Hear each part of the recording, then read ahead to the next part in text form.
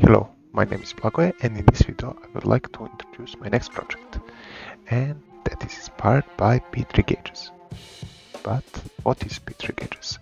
So if you can notice that P3 gauges is a simple display that is usually mounted inside a car air vent and it shows information that is receiving from uh, OBD port.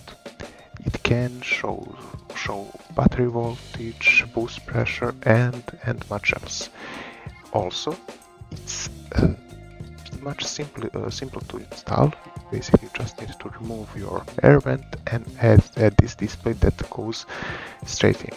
It is consisted of uh, control device, harnessed, and couple of a couple of uh, wires that can uh, attach additional analog uh, switches.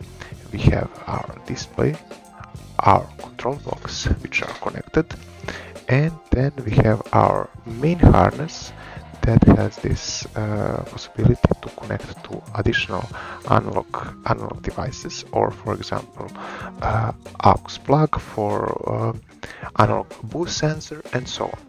In addition to that, that the, then going to straight uh, to our OBD harness. So, even though P3 gauge is awesome, I would like to create my own custom one. And for that, I would need next things. Uh, I will need somehow to get the information from OBD2 port to ESP32S2 and then from uh, ESP32S2 onto LCD display. Of course, I would like have uh, to have possibility to to, to select what I would like to display on LCD and for that I will need to get inputs uh, in order to uh, tell ESP32 what needs to be shown on LCD display. So if we just see this this complete project, I think that we can divide this project into a couple of sub-projects.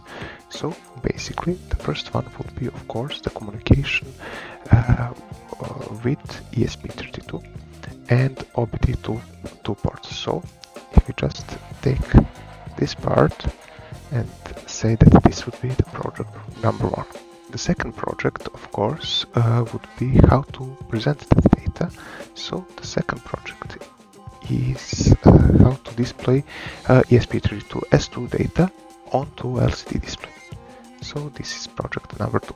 And the third one would be how to include inputs from the driver into selection of what is shown on LCD display. So we need to, implement some kind of mechanism in order to tell our ESP32 what data uh, it should present uh, present on LCD display. And that should be 3. This part I would like to change from original P3 uh, gauge, so I would like to have something maybe more complex than just two buttons.